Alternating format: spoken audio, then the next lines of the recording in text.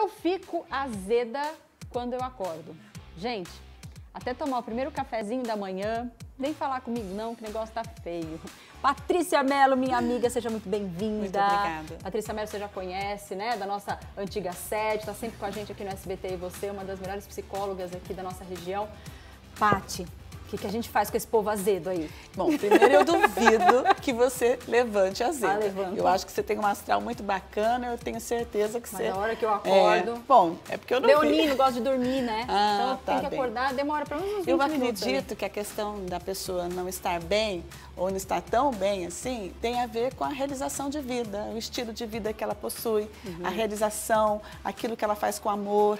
Então eu entendo que as pessoas devem realmente se sentir bem naquilo que fazem, porque nós passamos tempo demais no trabalho, Uhum. É? tempo demais se dedicando a algo que a gente não é feliz. Então nós temos que buscar a felicidade e isso vai adoçar a vida das pessoas. né? Então para adoçar, a primeira coisa que eu vejo é você ter autorrealização.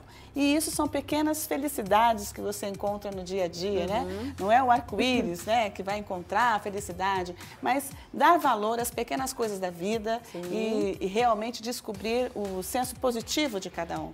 Então isso é importante, a autorrealização. E não se frustrar tanto com o estresse do dia a dia, que nós estamos aí numa evolução frenética, né, da Sim, velocidade. É, até a Tati Então, falou, né? O estresse junto com a alimentação, com tudo, é uma bomba, né? é uma bomba. Então, eu acho que ser doce, ao contrário do limão, né? Uhum. Que também tem muitas coisas boas, é você se realizar, é fazer o que gosta, é se sentir feliz a maior parte do tempo. E quem trabalha com uma pessoa muito azeda, Patrícia, tem que conviver com essa pessoa.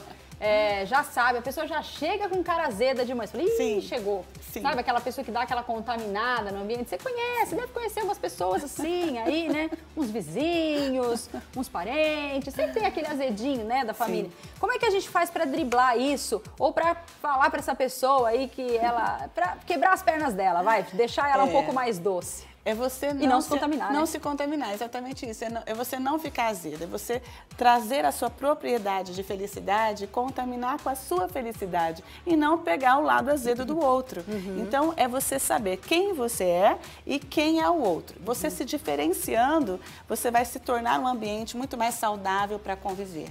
E não dar importância ao outro, mas sim em si, nas Uhum. coisas que você produz, as coisas que você vive. Então você vai ser muito mais feliz e não vai se contaminar com aquilo que o outro está te passando. Você acha que essas pessoas azedas, sei lá, mal-humoradas, assim, elas meio que acostumam a ser assim?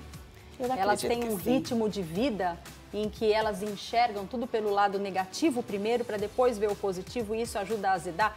Ela precisaria de ajuda, talvez, essa pessoa Sim, para enxergar é. diferente? Precisaria, mas muitas vezes ela não se percebe. Ela acha que ela não é azeda. Tá. Então isso é, é bem mais complicado. Quando se torna uma neurose, uma Aí é. coisa mais profunda, não é só um dia a dia, aí é muito mais complicado. Uhum. Então muitas vezes acho que está na hora da gente se tocar. Não é? Né? Será que a gente está sendo agradável onde a gente trabalha? Posso deixar um limãozinho na É, mesa de trabalho é. dele, assim? Já é um, Dessa pessoa? Já é né? uma dica, Já né? é uma dica, né? Se essa manhã tiver um limão aí na sua mesa, você já sabe Exatamente. que a gente já conversou sobre o assunto.